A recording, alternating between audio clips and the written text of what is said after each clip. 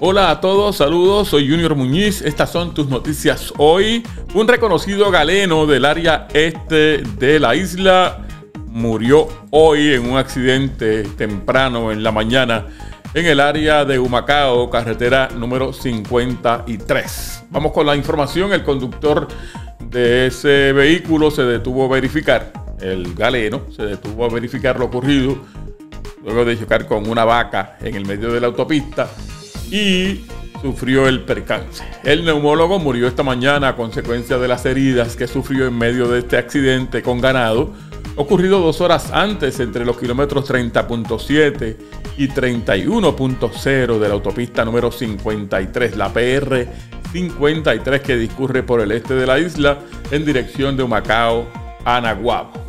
Eran las 5 de la mañana de hoy cuando el doctor Carlos Alcalá Muñoz, de 69 años, transitaba en su guagua Ford Explorer de color negra, presuntamente hacia su consultorio cuando impactó a esta vaca que estaba en medio del carril derecho. Este se detuvo para verificar lo que había sucedido y segundos después el conductor de otro automóvil, un Toyota Prius color blanco, identificado como Eliezer Díaz de 49 años, chocó con un toro en el carril izquierdo. Tras el impacto, le dio a la valla de seguridad y a su vez rebotó hacia donde estaba el doctor Alcalá Muñoz, a quien atropelló.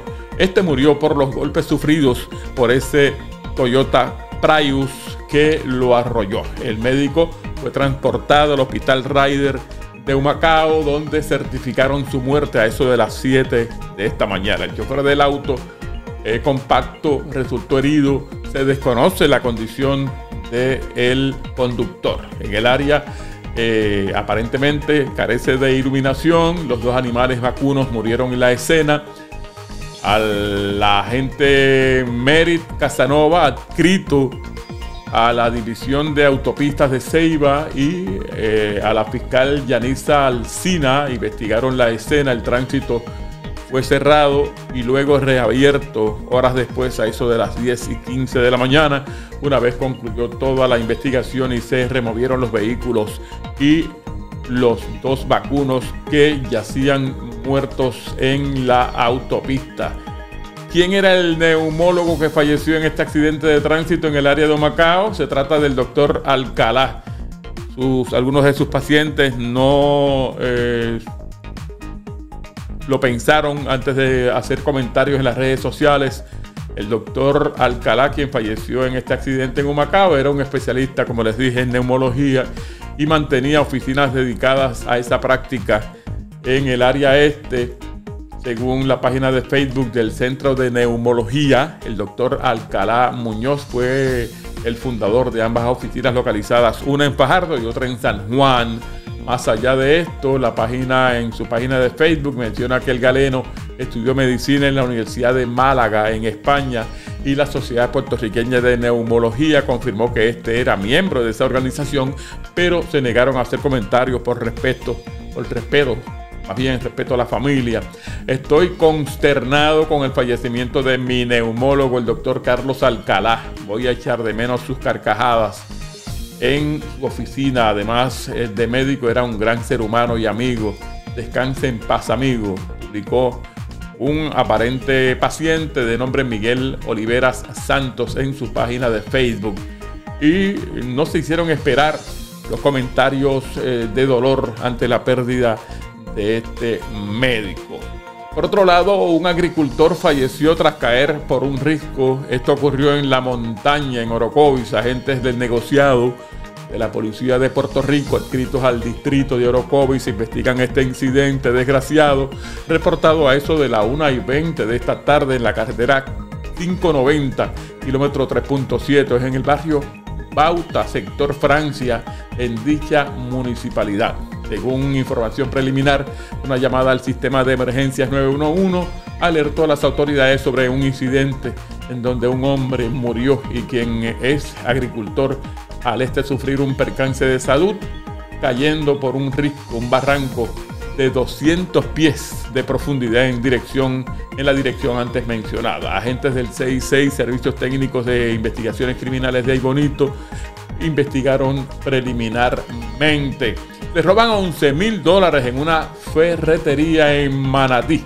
La policía investiga este escalamiento reportado en horas de la noche del lunes en la ferretería M. Otero, ubicada en el centro comercial Plaza Puerta del Sol, en la carretera 6672 en Manatí. Según el informe de la policía, alguien forzó la verja, puerta y rejas de la parte de atrás de la ferretería, logrando acceso al interior y en el lugar se llevaron 11 mil dólares en efectivo que se encontraban en la oficina principal. Además, se apropiaron de unas herramientas cuyo valor no fue estimado por los dueños. El agente Acevedo realizó la investigación de manera preliminar.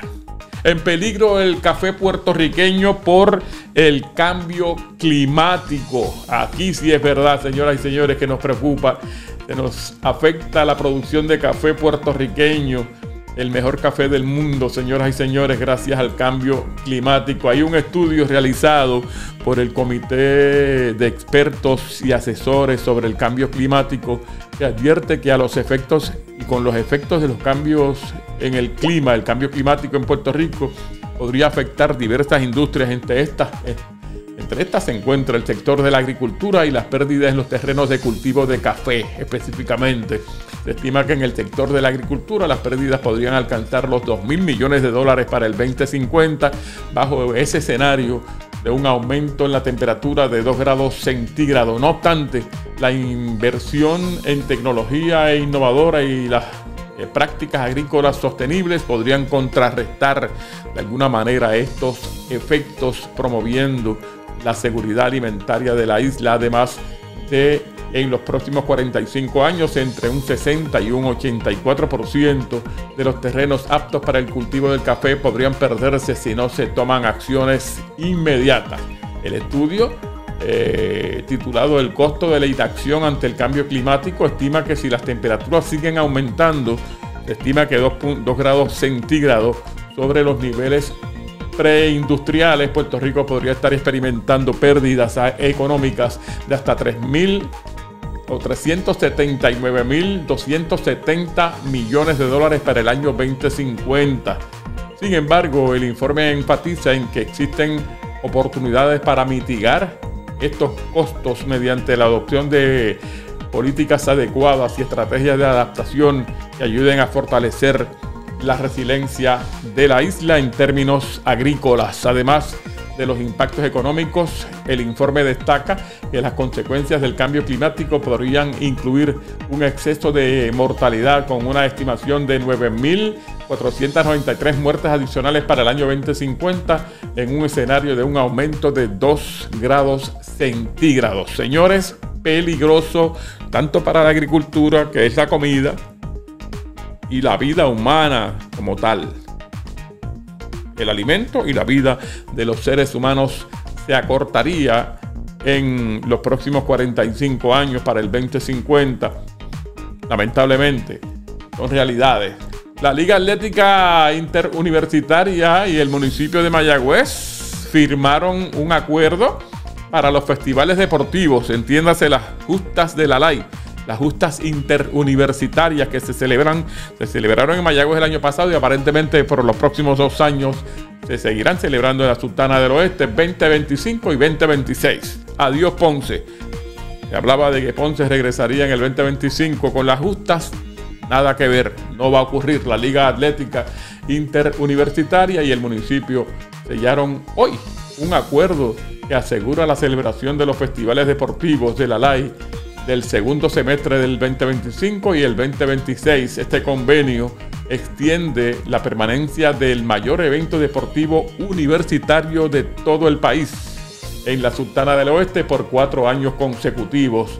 El alcalde de Mayagüez, Jorge Ramos, expresó su satisfacción tras la firma. Estamos honrados, honrando nuestra palabra con los miles de estudiantes, atletas que dan vida a nuestras instalaciones deportivas y llenan de alegría y de energía a nuestra ciudad. El Festival Deportivo, que ha sido un evento icónico desde los Juegos Centroamericanos y del Caribe del 2010, abarcará 10 deportes durante 10 días, incluyendo tenis de mesa, softball, voleibol de playa, judo, natación, atletismo, fútbol, baloncesto, porrismo y baile.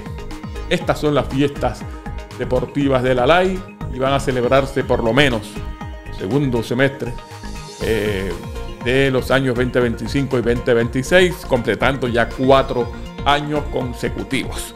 Por último, la Comisión Estatal de Elecciones extendió los servicios en las juntas de inscripción permanente a cinco días de que finalice el plazo para el cierre del registro electoral que es el 21 de septiembre. La agencia anunció además que una nueva herramienta de orientación a los electores está presentándose, restando cinco días para que culmine el periodo que tiene los electores para inscribirse, reactivarse o realizar transacciones electorales.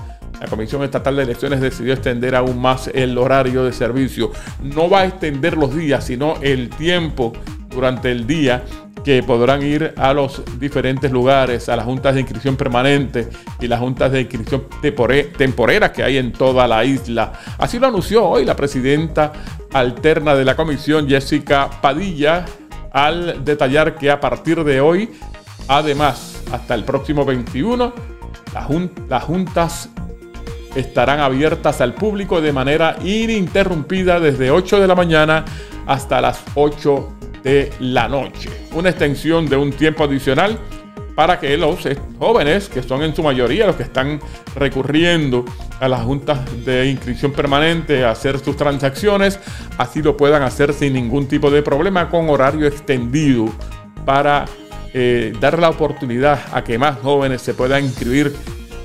Bien, que se inscriban y que luego participen en las elecciones del martes 5 de noviembre unas elecciones que a todas luces se perfilan como históricas en términos de participación si todo sigue marchando como va en términos de la gran cantidad de jóvenes que se están inscribiendo. Lo dijo JR, estas son tus noticias hoy. Gracias siempre por estar con nosotros.